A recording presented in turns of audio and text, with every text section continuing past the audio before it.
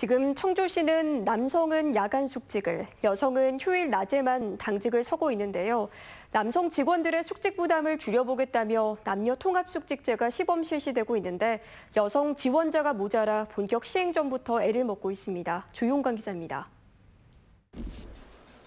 지난해 8월 설문조사에서 청주시 남자 직원의 74%, 여직원도 절반이 훌쩍 넘는 61%가 남녀 통합 숙직에 찬성했습니다.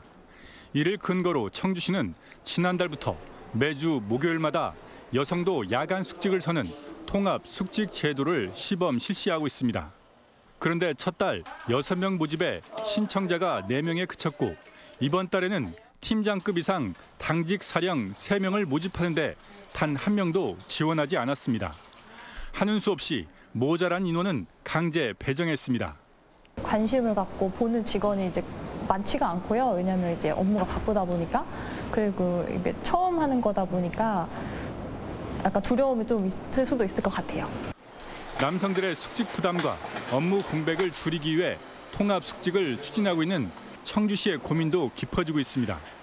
석 달간의 시범 기간에는 일주일에 하루라 그럭저럭 버티겠지만 제도가 본격 시행되면 1년 365일 여직원들을 야간 당직에 배치해야 하기 때문입니다.